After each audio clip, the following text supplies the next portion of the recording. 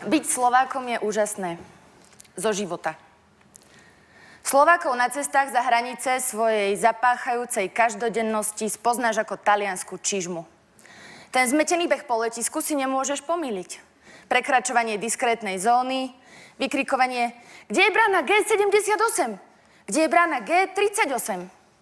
Budú to tí, čo pindajú, že more je teplé, studené, pláž, slnečník, ležadlo, strava, všetko bude na hovno.